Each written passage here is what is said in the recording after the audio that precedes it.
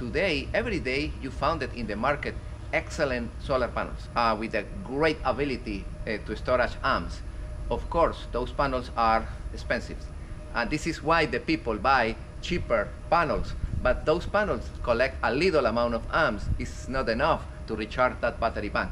Remember, you need that the capacity of the solar panel, the group of panels, the capacity should be in amps at least 40% of the capacity of this battery bank in amps. For example, in this example, I have two batteries of a 48 volts, 100 amps each one connected in parallel. You see? Negative with negative, positive with positive. You see, guys? How much is the capacity of that 200 amps, 48 volts? How much should be the capacity in amps of uh, my group of panels? In amps. Of course, 48 volts, but how many amps? 280. 280. No, 40% of 200. How much is 40% of 200? 10% of 200 is 20. It, it should be 40. Ah, if that panel is 40 amps or higher, it's perfect for this.